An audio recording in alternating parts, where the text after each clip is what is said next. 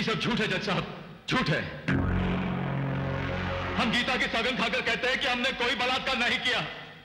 हमने ये औरत के साथ कोई ज़बरदस्ती नहीं की। अरे तो खुद आई थी हमारे पास अपनी मर्ज़ी से। पूछ लो इससे। ये सब पुलिस की चाल है माई बाप। दुश्मनी निकाल रहे हैं हमसे।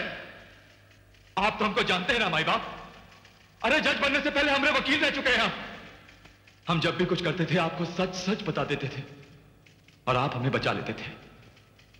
आपको याद है ना, मालिक? यह अदालत कुछ वक्त के लिए बर्खास्त की जाती है। हाँ योगी, हमें सब कुछ याद है।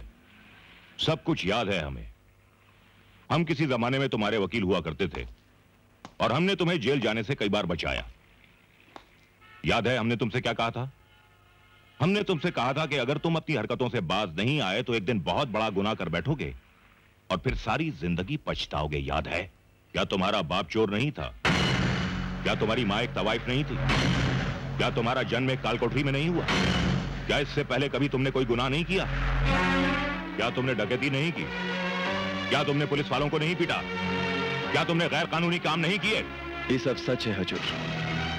मगर इस औरत के मामले में हम बिल्कुल बेगुनाह हैं। झूठ बोल रहे हो तुम। तुम्हारी रगों में जुर्म का गंदा खून दौड़ रहा है। और जहाँ तक फैसले का सवाल है वो गवाहों के बयानात और सबूत पर आधार होता है। वकील सबूत पेश कर चुके हैं। अब मुझे सिर्फ़ अपना फैसला सुनाना है।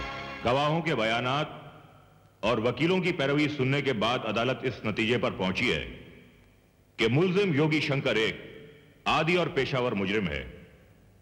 उसने मिस रीटा का बलात्कार किया, उनके साथ ज़बरदस्ती की। लिहाजा अदालत मुलजिम योगी शंकर को सात साल की सजा सुनाती है। आज का दिन याद रखना जगदीश वर्मा। तुम्हारी आँखों पर जो कानून की पट्टी लगी है ना, हम उसे निकाल कर फेंक दूँगा।